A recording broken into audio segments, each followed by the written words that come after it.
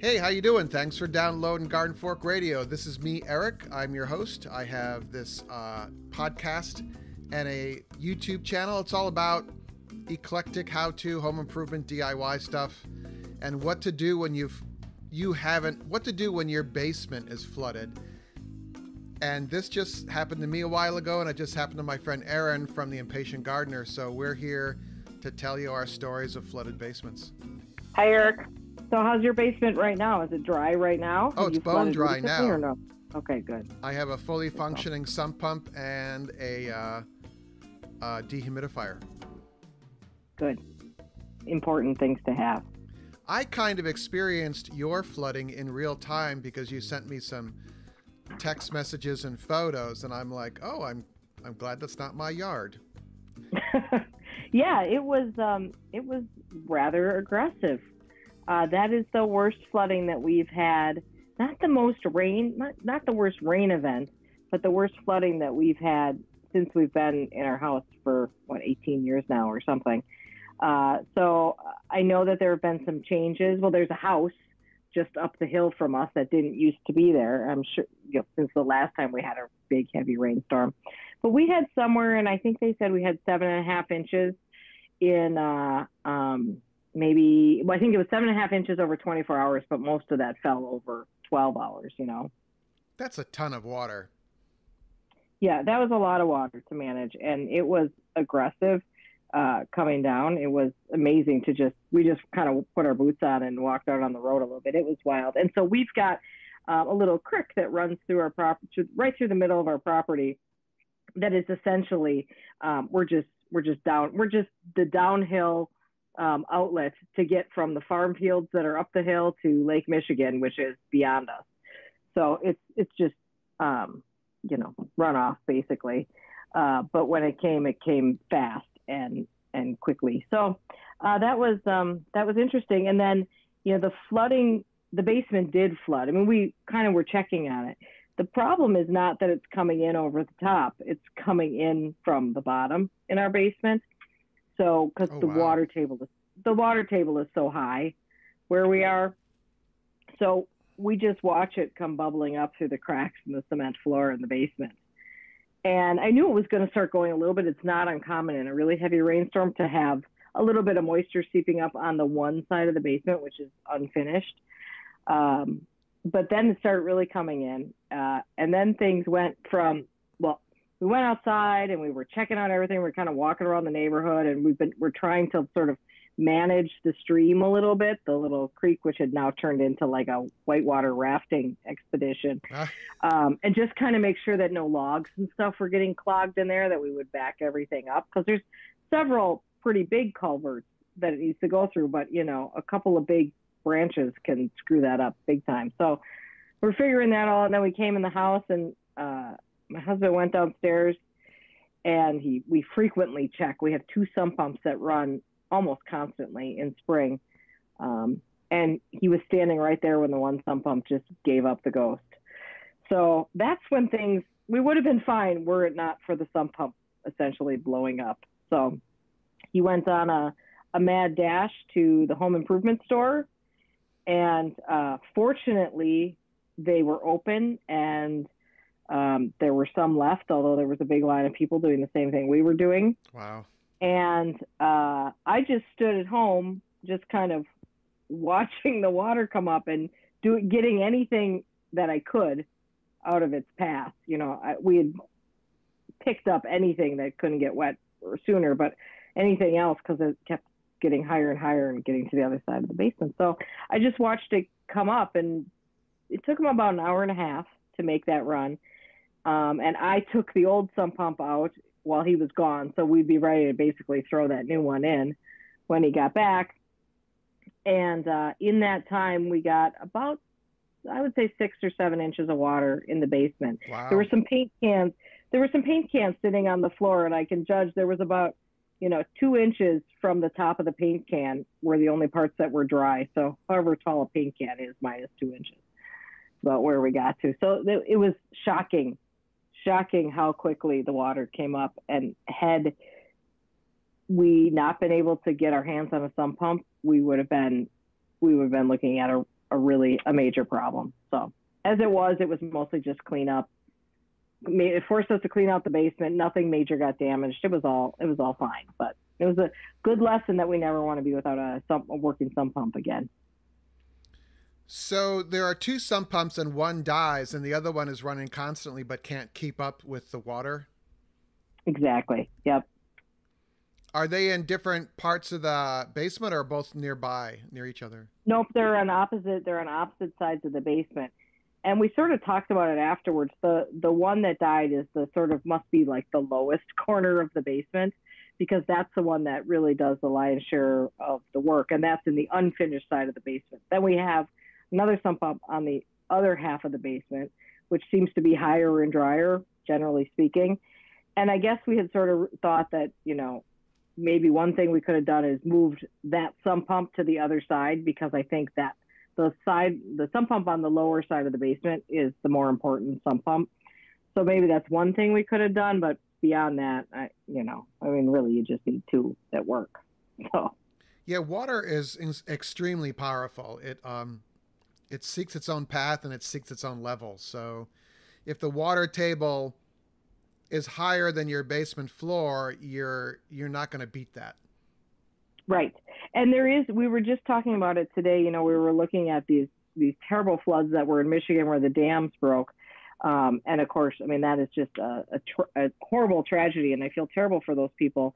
But you look at that, and that's just another one of those examples of you fighting Mother Nature is not something that can be easily done, and you will almost never win a battle with water because water is going to do what water is going to do. Yeah, I mean they use water to cut metal now. Do they really? Is that in what is in a CNC machine or how yeah. does that work? It's like a yeah. CNC. It's this jet jet cutter thing. So yeah. So there you go. I'm pretty sure it's water. I think I saw that. Anyway, um, it, it's pretty. It's it's called a water jet. It's pretty. But anyway, suffice to say, someone's going to email me now. Um, it's radio at gardenfork.tv. but yeah, I actually am kind of a hydrology geek. Um, there's a guy on YouTube. I think it's called Engineering Explained, and he has these great models about. He'll talk about a dam or some sort of water related topic, and he builds these models out of clear plexiglass to show you the power of water and how it can move stuff. It's pretty cool. Uh, I'll, I'll, and when I have a minute here, I will look it up. But his, it's just kind of amazing. But I've learned a lot with um, the little weekend house. We put in new foundation walls, so we put in curtain drains and I'm on a hill, thankfully, so the water table doesn't come into play as much. But I think it, with yours, the only thing you can do is have pumps. It's not like you could put in, you could dig some deep drains or something because the it's a water table issue. It's not it's not rainwater coming off your gutters or something. Right. Exactly. Exactly. So I will tell you that the the one sort of silver lining in this for us, well, there was there were some bad parts, which is that I'm creating a new garden, and literally one week, exactly one week before this, we had just spread 30 yards of topsoil, um, quite a bit of which went straight down the creek into Lake Michigan because I had not had a chance to plant anything yet there. Although thank God I did because of course nothing would have been established, so I would have lost the plants too. So at least I didn't lose the plants; I just lost a fair amount of soil. Um, but what was really interesting is that, um, you know, you could see the areas that were really wiped out with that. And it's, I, I actually have amended the planting plan a little bit there because it's clear to me that, you know, there's definitely one area where that water is going to come across our driveway. And it's not uncommon for, um, it's not uncommon for that to happen maybe once a year when we get heavy rain. So, um, you know, so that was interesting. I'm I'm just fascinated by it. In the spring here, we have uh, well, when it actually does snow. Uh, I don't know with climate change whether that's going to happen ever again up here, but we have we're in a very hilly area of Connecticut, and the streams just break their banks. And my one buddy has a dirt gravel road to his camp, and with these two quite robust concrete pipes with stone across to, to go across a creek. And the water um, washes those out every year. It's just like, and mm-hmm. it's, I just love watching it. And it's just, just, you're like, holy cow. And then the Labradors want to go swimming in it, you know? Yeah, right. Right. So, you know, we, I, when my husband ran to go get a sump pump, I said, buy two because I sort of had already realized. I called him up and I said, just buy two right away because it occurred to me that I don't really ever want to be without a spare sump pump ever again. But you sent me a link to a product to a different kind of pump that could be used as a sump pump or what an inversion pump or something that I thought was a really good idea. That would probably be better to have around as a spare because you could use it for more than just a sump pump. Correct? Yeah, it's. I actually got mine from Harbor Freight, but I'll I'll link to it in the show notes here. It's it can fun. It's it's a regular pump. It's a, you know it's like a eighty dollar or fifty dollar, you know your your cheap pump from Asia, and you can connect it to various diameters of hoses. But the beauty of it is, and it's not just this one model, but most of them you can screw a garden hose onto, and then it has a float switch connected to the side. So when the uh, when it's put into water and you can adjust the depth of the float switch by the length of the cabling it snaps onto the side of the pump. When that float goes straight up kind of like a fishing bobber goes straight up uh, there's a basically a metal marble in the switch that makes contact with two electrical contacts and it turns on the pump.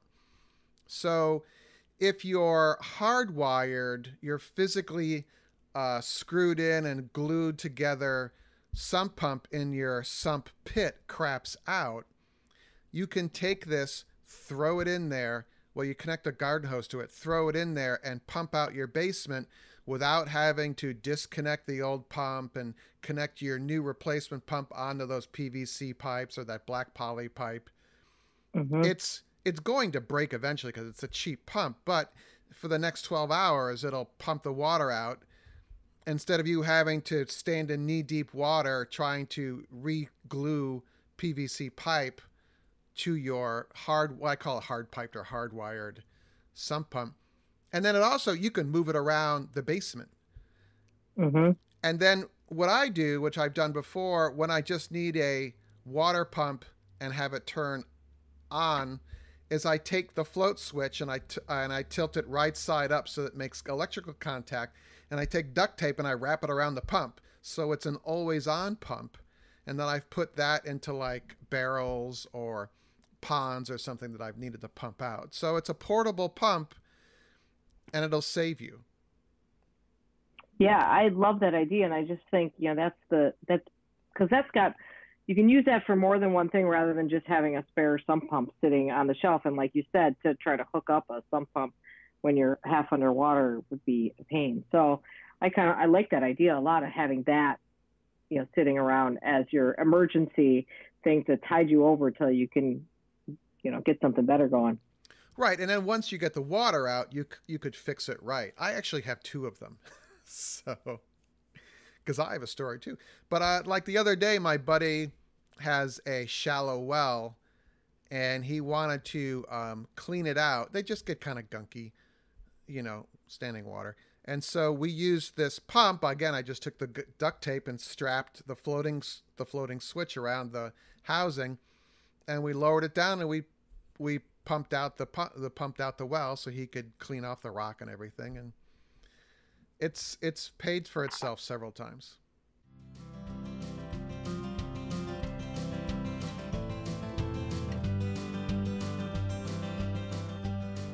I imagine by now you've heard me talk about the GardenFork patrons and the pre show and the after show, and I thought I'd give you like 30 seconds of what that's all about. Basically, there are people that listen to the show that contribute to the continued production of the show on a monthly basis, kind of like, uh, you know, like NPR or PBS, where you sign on for X number of dollars a month. Like I'm a member of PBS, and it's $6 a month and for that, I get access to the older episodes of like Nova and their science and history shows and that kind of thing.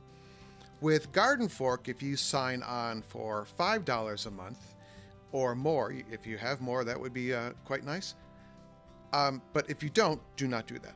Okay. But for that, I send out just kind of the mind of Eric kind of emails that also can show up on the app if you get the Patreon app. And also the pre show and after show when I record a show with other people. Because invariably, uh, Erin and I, or Will or Rick and I, are talking about something else after the show because we forgot to talk about it in the show. And that's sometimes fun. Uh, it's really fun to listen to Rick tell me what I'm doing wrong with the show, but in a good way, because you need feedback like that. But you could also provide that feedback uh, becoming a patron. So that information is in the show notes of today's episode. You can also go to patreon.com slash gardenfork for more information about that. All right, so think about that, and we'll go back to the show. See ya.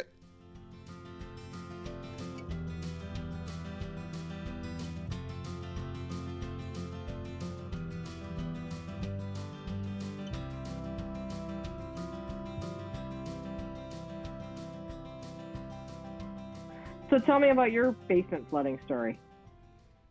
Um, well, it's a couple years ago now, but my it was in Brooklyn, and the first thing you have to know about a lot of cities is that their uh, wastewater and water runoff, uh, the sanitary drains, the sanitary sewers, and your water runoff drains are all tied into the same pipe.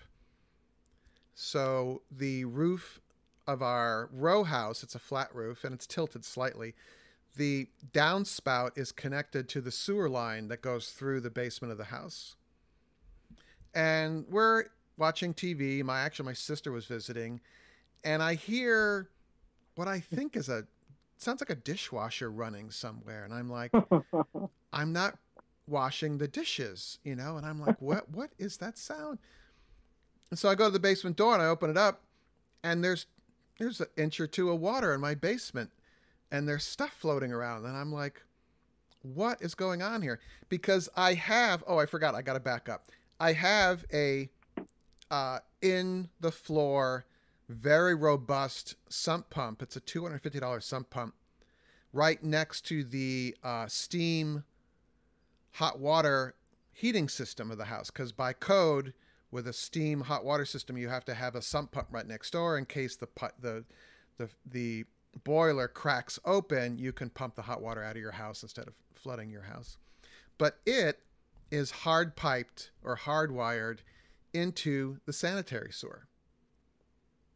So this pump is creating the dishwasher noise, and I'm like, it's mm-hmm. running, but the basement is flooded because the rain from the downspout is coming down, and the last trap, which is underground going out the front of the house through the sewer line, is clogged. So rainwater is flooding my basement. It goes into the sump pump. The sump pump then just pumps it into the sewer line, and since it's backed up, it there's a slop sink at the very front of the thing. And it's just geysering out of the slop sink. So oh. I, you know, it's still raining. I can't stop the rain. The pump is just circulating from the sump pit up into the sewer line through the the slop sink. So my wife and my sister start bailing with buckets, and I hopped in the car. And thankfully, the orange store is open 24 7 in Brooklyn. And I got this El Cheapo pump and I dropped it in and I thankfully had a long enough garden hose and I pumped out the basement. But and now I bought two of those for Brooklyn. Now. Yeah. And then I had to call the the guy to snake out the line because the trap is pretty big, and I'm like, I'm I was so tired. And it could have been a clog that where the the my sewer connects to the sewer main, you know. And he opens up the little clean out and he jams a screwdriver down in there and it goes boop and the water drains and that was $180 oh. but that's where i got the idea of everyone should have a spare sump pump because it's worth it's worth the 50 or 80 bucks because just your basement's wet. You got to run your dehumidifier. You got to get your sh- your shop vac out. It's such a pain. It it might save you one day. Yeah. Oh, absolutely. Well, you know, I'm I'm fairly confident that rain occurrences like this are going to become more common. So I, you know, I, I don't think this was any sort of, you know, although it might seem like an anomaly right now, I think, you know, in in future years we will be seeing that more and more and more. So I've also seen a lot of basement flooding when people's downspouts become disconnected and mm-hmm. they basically are dumping rain right next to the basement wall instead of getting it away from it as well. Um, my actually my neighbor in Brooklyn had that problem for years. The next door neighbor wouldn't let anyone in their house. So It was that kind of person. And mm-hmm. whenever it rained, their downspout would flood the neighbor's house. The nice neighbor was trying to get it fixed. And they finally convinced the lady to get a plumber in there, and it took five minutes because they just cleared out the downspout. Oh, man. five minutes to fix that. It's a five minute fix. Yeah. All that, all that damage and hassle and everything yeah. else. Wow. So, kind of a tangent on this is is the power of water and how nature will always win. Mm-hmm. And I have been, we've been up at the weekend house for quite a while now, uh, working remotely, and I've also had time to get to projects I could never do up here because you're only here for a weekend every once in a while. So I've been pulling out in these kind of semi wooded areas around the house the uh, the briars or the they're basically wild berries, wild raspberries or blackberries or something, because the mm-hmm. dogs get in there and they get stuck. So I've been I've been taking them out with a shovel. I've been pulling the roots out, and I've I've done a huge area, but within the last couple weeks, I've noticed nature coming in in the form of other invasives and taking over because it's an open space. And yeah, as they say, nature abhors a vacuum, and so, that goes for weeds too. so Virginia creeper is the big one right now, mm. and um, it has really long vines that are subterranean. You know. and then we also have um, the mustard garlic, garlic mustard mm. coming in. Mm-hmm. Yeah, it's amazing, and that's why you know, and that's why with those invasive species, it's so hard to sort of correct that problem because you know every time you pull one out, there's another invasive species waiting to just you know take advantage of that bare spot of grass with or bare spot of soil um, by you know getting in there. There's a reason why they're weeds, I guess. Yeah, and uh, so it's kind of made me rethink things. Um, I'm just going to focus on the edges of the yard where the grass ends, and the rest of it, I'm like, whatever I do in the long run, I'm going to lose. So I can pull out the yeah. garlic. I can pull out the garlic mustard. The other invasives, I think I'm just going to have to live with. Yeah, and I think some are easy, some are better to live with than others. You know, some might have some sort of value to them. Things like things like garlic mustard are um, particularly tough because um, garlic garlic mustard um, is allelopathic and it has this chemical in it that actually inhibits the growth of other plants. So it makes it like extra hard for other native species or something you might want to grow there to grow in that to grow in those spots. So garlic mustard. And plus, you know what? The thing about garlic mustard weed is, honestly, I'd rather pull garlic mustard weed than raspberry, wild raspberries or whatever kind of you know bramble you've got going on there, because it's it's not super hard to pull. It's just so prolific that it gets onerous. You know. Yeah, the briars are a pain, but um. Oh, those are terrible. I've got it down to one small, probably like a uh, like a six foot square area now, and I'm like, okay, I'll work on that later.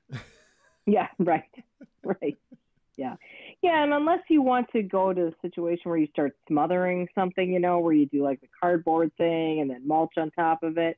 I mean, you can do those things, but if it's not an area, you know, I mean, if it's just like an open area that you're just trying to sort of clear some of that stuff out, you know that you don't necessarily want that to just remain open either. And maybe you don't want to take the time to or spend the money to plant something else kind of thing you know? So it's a it's a it's a tough call but you know you're right. I think at some point you do have to just sort of pick your pick your battles in the yard. Yeah. for sure. I'm not going to pick a battle against uh, water again anytime soon i think i have more soil being delivered to my house either today or tomorrow so that's good spread some more Yeah, you have to watch the weather now. Right. Well, it was supposed to come today, and I and I did not get a call from him, and that's good because it's raining quite a bit. And I thought, oh my God, if this if I have to watch more soil get washed away, um, you know, it's really interesting. This is sort of strange.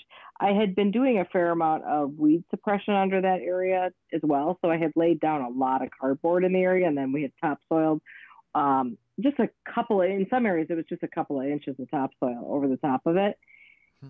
And all the topsoil went away and not a single piece of cardboard was moved. Huh.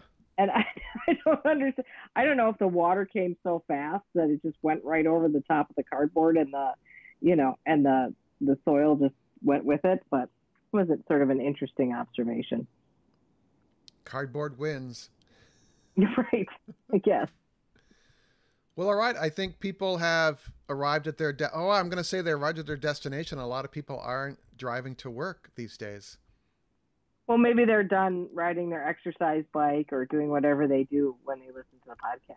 Their their solitary walk, getting away from their families. Right. Right. Anyway, it'd be fun to hear from you. I and you could tell us, Erin and I, your uh, water basement flooding nightmare, and then we could read that on the air. You know, maybe even you could be on the show. And if there's a hydrologist listening, that would be really cool. So water's kind of amazing. So. Um, Erin and I are going to um, break off now. We're going to do our after show for GardenFork patrons, but you can find both of us at the in the GardenFork Facebook group, and then Erin. Erin puts out more videos than I do. It's it's exhausting. Uh, your YouTube channel, The Impatient Gardener, is going really well. Yeah, you know, this time of year it's easy to come up with gardening content. Not so much in December, but this time of year there's there's a lot of gardening stuff to talk about. But in the December, we can you always show us your basement. Right. okay. That's, sure, that would be a scintillating. That's scintillating, right? All right, everyone, go out and do cool stuff, and then come back and tell us about it. It's radio at gardenfork.tv. Thanks for listening. GardenFork Radio's executive producer is Jimmy Goots. You can find more information about Jimmy and the custom hollow books he makes at hollowbooks.com. Our theme music is used under license from uniquetracks.com. Other music used in the show is used under license from audioblocks.com.